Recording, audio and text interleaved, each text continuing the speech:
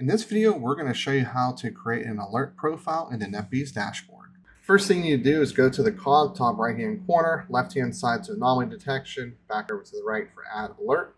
And what you'll see is you'll have a couple different options here, which include up down, down up, baseline, and watermark. So up down is going to be your traditional reachability test. If something's reachable or not, you can do ping, DNS, HTTP, and traceroute. Down up is going to be the opposite, really useful for situations where you want to make sure something isn't reachable. Uh, same thing, ping, DNS, HTTP, and traceroute. Baseline is going to give you a multiplicative number like 1.5x or 2x the day, week, or monthly average.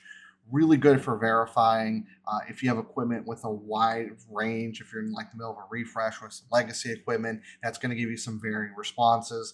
Here you'll get packet loss, round trip time, lookup, response time, etc.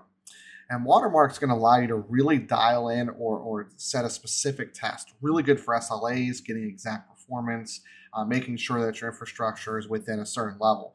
You know, packet loss can be more than a half a percent would be an example. Uh, same thing, packet loss, RTT, lookup time, response times, etc. will be your options there. Uh, we recommend five minutes to 15 minutes is a really good number to work with. Uh, you can do one minute, but it's a little bit tight to do that. And one hour and four hours might not give you the desired results. Um, and then you have an option one week, one month, or you can also do one day. Uh, that's really up to you. If there's a big performance spike in the middle of the day, then one day averages might be um, a little bit skewed. So one week or one month might be more ideal there.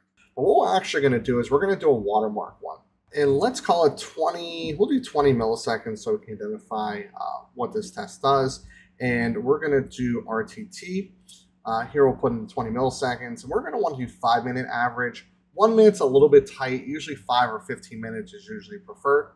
Then we're going to click save, and you'll see here it'll go ahead and pop up here. If we want to go and make it the default, we could. I elected in this case not to, so we'll leave that unchecked.